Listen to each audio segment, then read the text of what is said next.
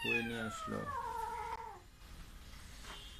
ওর আর একটা বোধহয় সিবলিং ছিল। লাইক আমাকে যে খবর দিয়েছে ওর ব্যাপারে সে আমায় ফোন করে বলেছে ওকে যদি এখন রেস্কিউ না করা হয় বাঁচানো যাবে না।